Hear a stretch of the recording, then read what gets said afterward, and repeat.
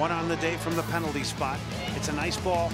It's Hinson using her body to protect it. It's Glenn. She's going to try it. Katie Glenn. It's a chance to win it. Billups. It goes in.